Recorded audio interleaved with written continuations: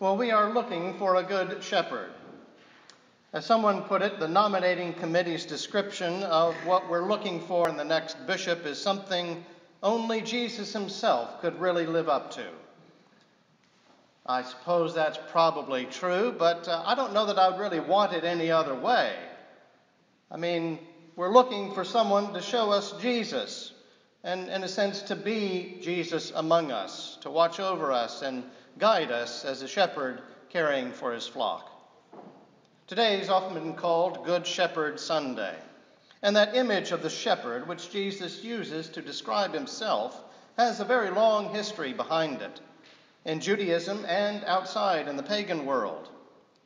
In the ancient Near East, in royal inscriptions that we find in Sumer and Babylon and Assyria, the king in whose lands uh, refers to himself as the shepherd instituted by God. In ancient Israel, the judges, before they had kings, they were described as shepherds of the tribes. David, of course, was called by God from tending the sheep. I mean, literally, when the prophet went out there to anoint him king, he said, Where's the other one? And his dad said, Well, he's out with the flock. Let me go get him. So he was called as literally a shepherd, to be the divinely appointed shepherd king of God's people. And interestingly, he's the only king of Israel called a shepherd in the Old Testament. Of course, shepherds were providers and guides and protectors and constant companions of the sheep. They were also figures of authority and leadership for the flock. And so it's no wonder that this pastoral image would be employed for kings and rulers. In contrast with an unjust king who exploits his people, the description of shepherd implies that caring for the weak in society is a particular task of the righteous king. Now, before we pick up our reading today, earlier on in John chapter 10, Jesus had contrasted the bad shepherd or hireling with a good shepherd. And of course, he says that he is the good shepherd. The hired hand abandons the sheep when he sees the wolf coming, but the good shepherd is willing even to die to protect his flock. And then when we get down to our gospel selection for today, John gives us some more context of where this discussion is taking place. He notes it was the feast of the dedication at Jerusalem in winter, and Jesus was walking in the temple in the portico of Solomon. And so John is telling us it's Hanukkah, the festival of lights, the last great of the Jewish festivals. It came out of a time of great ordeal and heroism in Jewish history, chronicled in the two books of the Maccabees in the Old Testament. The ruler of, of the Seleucid Empire, named Antiochus Epiphanes, saw himself as the divine successor to the Greek Empire of Alexander. And so he intervened in Palestine through Hellenizing Jews to promote Greek thought and ways and to eliminate Jewish opposition. And this Hellenizing movement eventually included replacing Jewish religion entirely. At first, it was kind of a peaceful movement but became violent as opposition and resistance arose. Some of the Jews enthusiastically welcomed the new Greek ways, but most wanted to remain stubbornly loyal to their ancestral ways. They remained faithful. In the year 170 BC, Antiochus attacked Jerusalem, and he looted the temple and the treasury. As many as 80,000 Jews died and just as many were sold into slavery. It became a capital offense even to possess a copy of the Bible. Circumcision was outlawed, and mothers who circumcised their baby boys were crucified, with the children hanging from their necks. The temple courts were profaned, its chambers turned into brothels.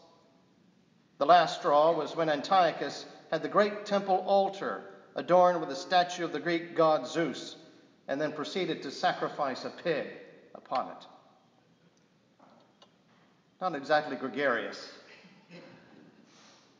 Antiochus was the thief who had entered into the pasture to steal, to kill, and to, and to destroy. The Hellenized Jews had seen the wolf coming, and they had fled like hired hands.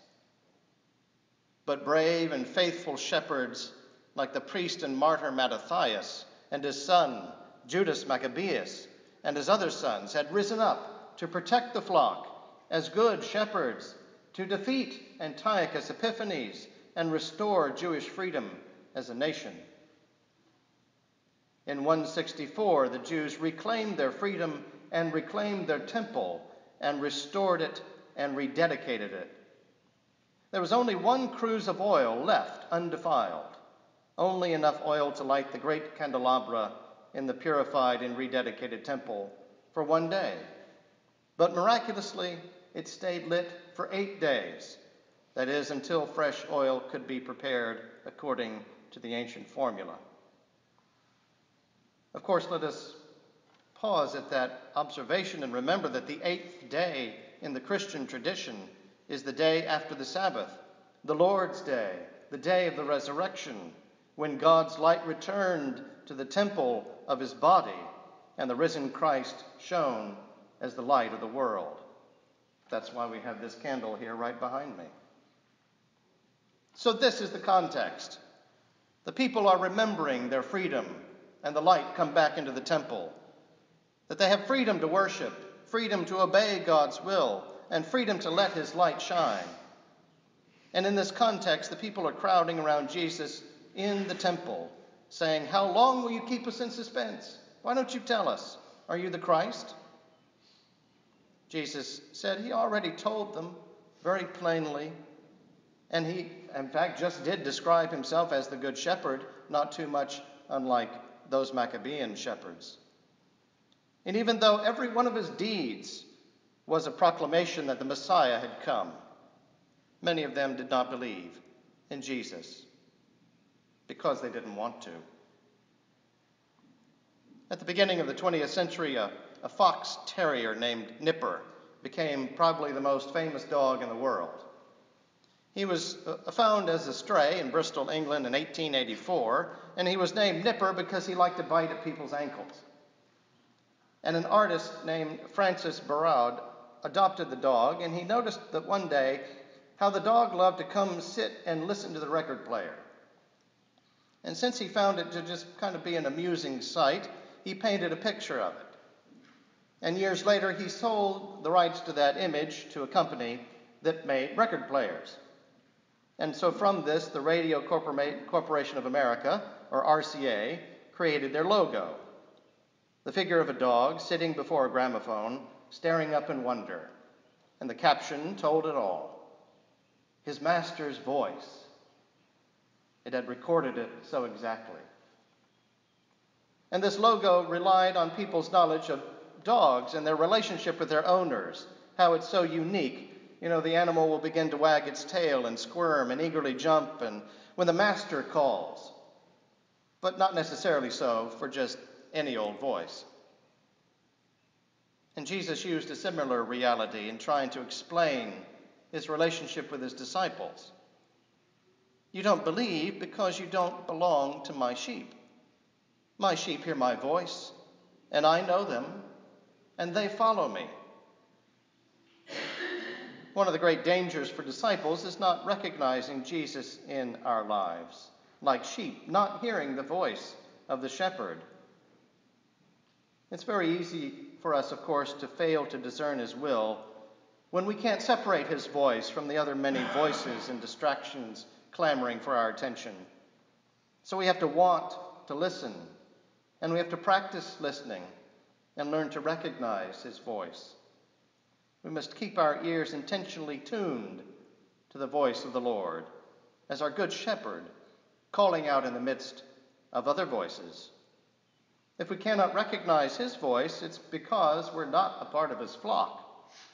And if we're not part of Jesus' flock, we don't belong to him, then we won't walk through life under his guide and care. And there are great blessings for having the Lord as our shepherd. I give them eternal life, he says, and they shall never perish, and no one shall snatch them out of my hand. And so we find here a threefold blessing of being sheep in the Lord's flock. The first, we might easily skip over, is the blessing of a personal relationship with Jesus. That in itself is a great blessing. Personal access. I know them. They know me. I speak. They hear my voice. Now, you can't just call up the President of the United States or the governor or even the mayor and get, to, get a chance for a chat. But you do have a direct line to the Lord of the entire universe. And He likes it that way. He likes to take your call. And He cares for you as an individual. The second blessing is that gift of eternal life. Jesus is not like the hired hand who runs away from the sheep when the wolf comes and death approaches. He puts the sheep first. He lays down his life for the sheep. And eternal life is not just everlasting, a life that doesn't end. It's a life that comes from eternity. God's life that comes from outside of his creature of time. And he shares that with us. God's life that overcomes the wolf of death. He doesn't have to share it, he wills to share it with his sheep. As we heard from John's revelation, salvation belongs to our God, who sits upon the throne, and to the Lamb. And then that third blessing for Christ's flock is eternal security. That no matter how fearful the wolves of life may seem, they will never be any match for the Good Shepherd. God holds you secure in the palm of his hand. He will never forsake you or let you go. Eternal security, eternal life, and a personal relationship with our shepherd. It's good to be a sheep. And God will give us a good shepherd, a bishop to walk among us in the Lord's stead. So then let us train our ears to be willing to listen to his voice and follow where he leads. In the name of the Father, and of the Son, and of the Holy Ghost. Amen. Amen.